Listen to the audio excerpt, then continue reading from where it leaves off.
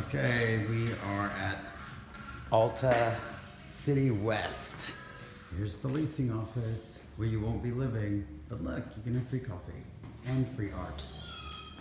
And there's the the staff. That's what what you would see if you were touring. But here is the hello.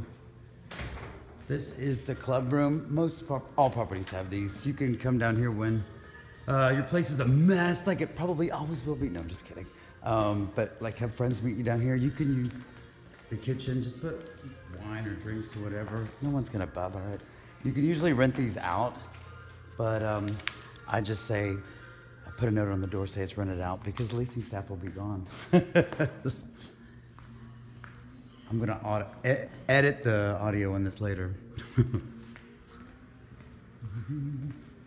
this is the whole property. It's a boutique property. It's kind of small. And the grills, see the grills?